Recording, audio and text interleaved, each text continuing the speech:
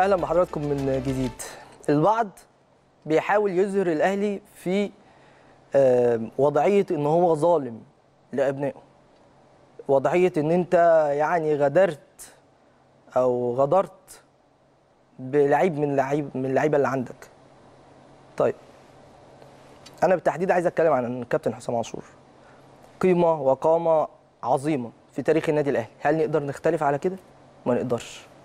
هل ينفع واحد يجي يقول لك لا عاشور ده كان لعيب مش اطلاقا. عاشور ده كان من أهم اللعيبة في تاريخ النادي الأهلي ده في المجمل وأهم اللعيبة في صفوف النادي الأهلي على مدار 16 موسم متتالي. ما عدا الموسم الأخير مثلا ما شاركش فيه بشكل أساسي. فيما عدا ذلك الراجل كان بيشارك أساسي على طول. الراجل ليه كل الحب والتقدير والاحترام من كل جماهير النادي الأهلي. برضه برضه برضه يعني. بما إن مثلا واحد يعني أنا بحب الأهلي مثلا فبالتالي بحب حسام عاشور. فبالتالي بصراحة كان نفسي حسام عاشور مثلا سنة يبقى قاعد في الأهلي. سنة كمان مثلا. أقول لك على اسخن من كده مجلس الاداره نفسه كان نفسهم يبقى حسام عاشور موجود. لكن في كل الأحوال بيحكمنا إيه؟ سياسة الأهلي. اللي بتتمثل في إيه؟ بتتمثل في المدير الفني بيقول طلباته طالما أنت بقى مستقر إن المدير الفني ده هيكون معاك يقول طلباته وأنت تنفذها له. آه، في حاجة غريبة في القصة دي؟ لا مفيش حاجة غريبة. طيب. هل الأهلي بس اللي استفاد من حسام عاشور؟ يعني الأهلي فريق النادي الأهلي استفاد من حسام عاشور بس؟ حسام ما استفادش؟ لا طبعا حسام عاشور استفاد.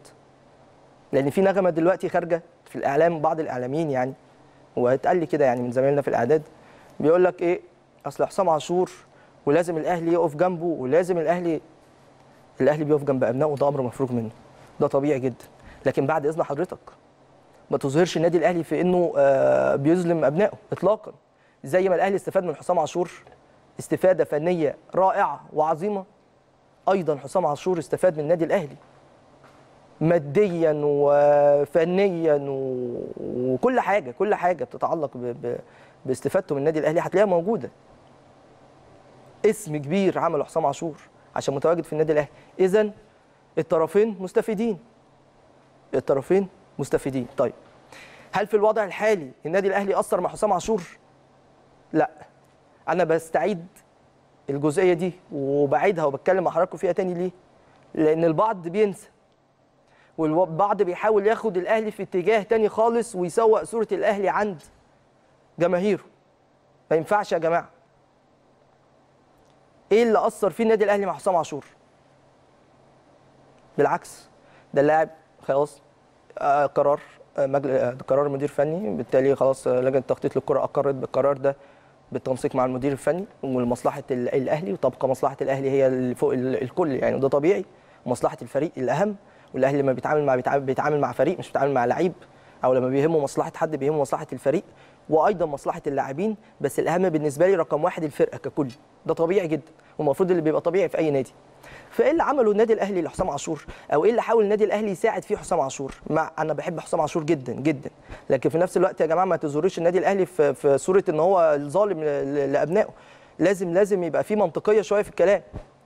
فتقديرا ونفكر حضراتكم تاني تقديرا لقيمة حسام عاشور وتاريخ حسام عاشور المميز والرائع واللي ما فيش يعني حد يقدر يعوض أو ما فيش حد يقدر يعمل تاريخ اللي عمله حسام عاشور مع النادي الأهلي. تاريخ عمله مع فريق واحد على مدار سنوات عديدة. صعب. فالأهلي راح واخد قرارات قال له يا جماعة يا عاشور دلوقتي لو أنت هتعتزل فبالتالي إحنا هنعمل لك ماتش اعتزال وأي عائد هيجي من الماتش ده هنعمل له تسويق طبعا عالمي والعائد كله ليك تقديرا لإيه؟ لمسيرتك الرائعة. وتقديرا إنك ما لعبتش في أي نادي وما لبست تيش ما لبستش تيشرت تاني غير تيشرت النادي الأهلي.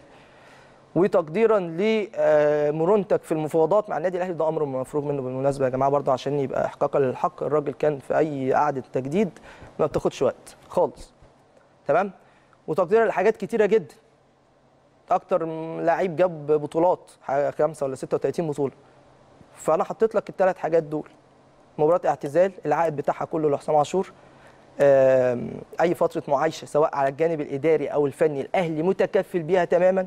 وخلي بالك مباراة الاعتزال دي ما هي ما بتبقاش موجودة في الأهلي من سنة 90 تقريبا. الأهلي لاغي موضوع ماتشات الاعتزال لكن استثنى قيمة حسام عاشور استثنى واحد باسم وتاريخ حسام عاشور. فبالتالي خد القرار ده إحنا هنعمل النادي الأهلي هيعمل لحسام عاشور مباراة اعتزال. يعمل فترة معايشة سواء هنا ولا هنا جانب إداري فني في أي حتة في الدنيا هو عايزها. ليه آه، وظيفه أو عمل في قناة النادي ال- الأهلي. آه، أمور ما حصلتش مع أي لعيب تاني من اللعيبة اللي اعتزلت مثلا. ده لو اللاعب قرر الاعتزال. فبالتالي يا جماعة الأهلي ما قصرش مع حسام عاشور عشان البعض ما يحاولش يظهر النادي الأهلي إن هو مقصر مع أبنائه. مش الأهلي اللي كده اطلاقا. مش الأهلي اللي كده اطلاقا. ممكن حضرتك وأنت بتتكلم مش عارف أو ممكن تكون بتتكلم في جوانب احترافية. لو بتتكلم في جوانب احترافية فالاحتراف بعينه اللي بيطبقه النادي الأهلي. ودي حقيقة. وسيبك بقى أنا دلوقتي سيبك من بادج الأهلي ده اللي موجود على ال- الشاشة. أنا مش بتكلم عشان قناه الأهلي. آه، بالمنطق وبالعقل كده فكر فيها. حضرتك وانت بتتابعني أو حضرتك تسمع كلامي. فكر فيها وقول شوف الراجل ده بيتكلم صح ولا غلط. أو شوف كلامي منطقي لأ. ممكن تختلف وممكن تتفق أنا ما عنديش مشكلة اطلاقا. لكن الأكثر منطقية هو اللي عمله النادي الأهلي. أنا عندي مدير فني بي- بيحط قرارات بحاول أنفذها له عشان الراجل ده هو اللي بيقود الفريق وأنا عايز مصلحة الفريق ومصلحة النادي. ده ال- الطبيعي يعني. فبالتالي في كل الأحوال حسام عاشور لسه ما قررش لأن البعض كمان قال لك إن حسام عاشور قرر الاعتزال وبيصدم آه، قرر إن هو ما يعتزلش وبيصدم النادي الأهلي. مفيش صدمة ولا حاجة للنادي الأهلي. ده قرار يخص اللاعب. نتمنى طبعا حسام عاشور يعتزل مع النادي الأهلي. ده أمر مفروغ منه. آه كلنا نتمنى كده. لكن برضو ده قراره لازم يحترم. ولو عاشور راح أي حتة في الدنيا هنفضل داعمين ومساندين ليه؟ ونتمنى له يا رب كل التوفيق. عمر ما حد هيقدر ينكر أو يغفل تاريخ حسام عاشور مع النادي ال- الاهلي دي جزئية من ضمن الجزئيات الهامه برضو